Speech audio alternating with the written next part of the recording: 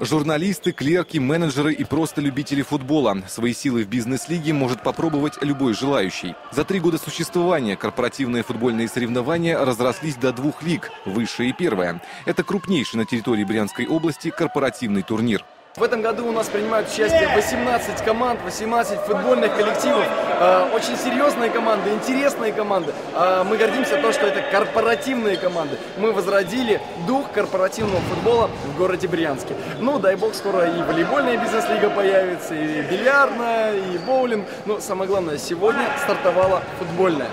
Соревнования традиционно проходят по выходным. В этом сезоне бизнес-лига сменила прописку. Теперь жаркие спортивные баталии проходят на лучшей мини-футбольной площадке города – в спортивном комплексе «Брянск Облгаз». Помимо этого, организаторы приготовили еще несколько сюрпризов.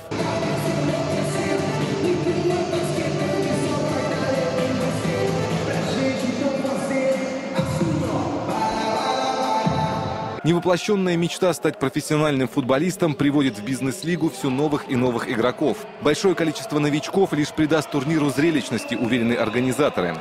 История бизнес-лиги знает немало примеров, когда команды-дебютанты добивались серьезных успехов. Яркий пример – Брянск-Лада, которая из аутсайдеров превратилась в настоящих лидеров первой бизнес-лиги. Сегодня команда Дом.ру, федерального телеком-оператора, впервые выходит на поле бизнес-лиги.